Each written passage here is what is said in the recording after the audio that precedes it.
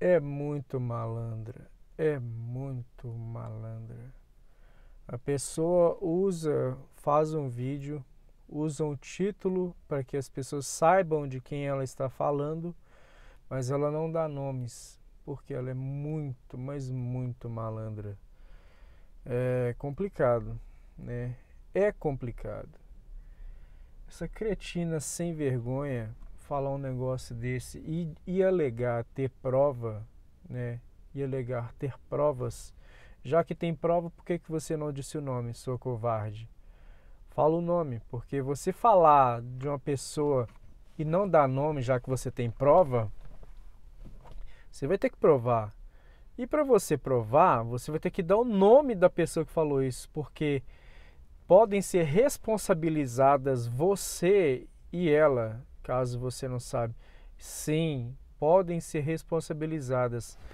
É, o Ministério, se você for denunciada no Ministério Público, né, você vai ter que pagar uma indenização que esse, esse gigolô, desse vagabundo que você tem aí, que você chama de marido, porque isso para mim isso não é homem, isso não é homem. Se fosse homem, não, você não estaria fazendo essas coisas aí, né, sua vagabunda? Né? É complicado. Você e esse outro marginal aí que você chama de marido, é muito complicado, né? Eu queria ver você dar nome, que dar os nomes às pessoas. Você estaria muito enrolado. Por isso você é covarde, né, sua pilantra. É, e tem gente que muita gente vem aqui falando: Nossa, você grita, você xinga demais. E como que não xinga? A gente vendo um negócio desse.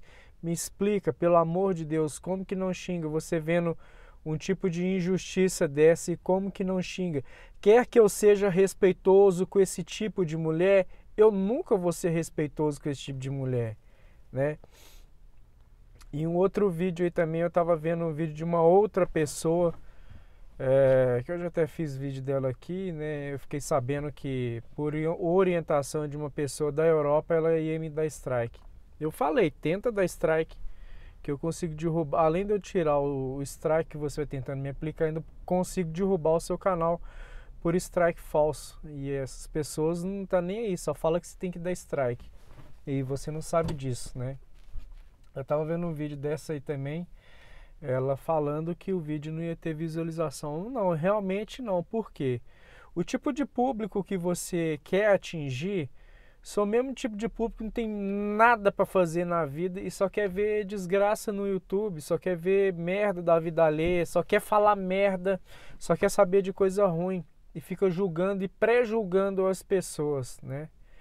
É, infelizmente é isso mesmo que você vai ver aí. O seu vídeo, por, incrível que pareça, é, por você achar que não ia ter visualização, você conseguiu atingir mais de 30% do seu público, que é, é difícil né, fazer esse tipo de vídeo pelo número, número de inscritos que você tem, é complicado. Mas quando você faz um conteúdo legal, é, as pessoas ainda, não, mesmo assim, não gostam, porque está lá pela treta. As pessoas estão aí pela treta. Infelizmente, as pessoas estão doentes aqui no YouTube, né? É... Mas é isso aí, faça mais testes como esse para você ver se o seu vídeo flopa ou não. Porque se você fizer um vídeo que flopar, isso, isso prejudica demais o seu canal, prejudica muito. Né? Agora, a outra sem vergonha lá, a pilantra, ela só fica falando e fazendo acusações falsas às pessoas. Eu espero, eu espero não, eu sei que, eu, que ela está errada nisso aí. E eu espero que ela esteja errada, porque é, é foda. É foda ter que ver esse tipo de coisa, esse tipo de acusação, né? Isso aí, galera. Vou ficando por aqui. Obrigado você que assistiu esse vídeo até aqui. Uma boa semana a todos.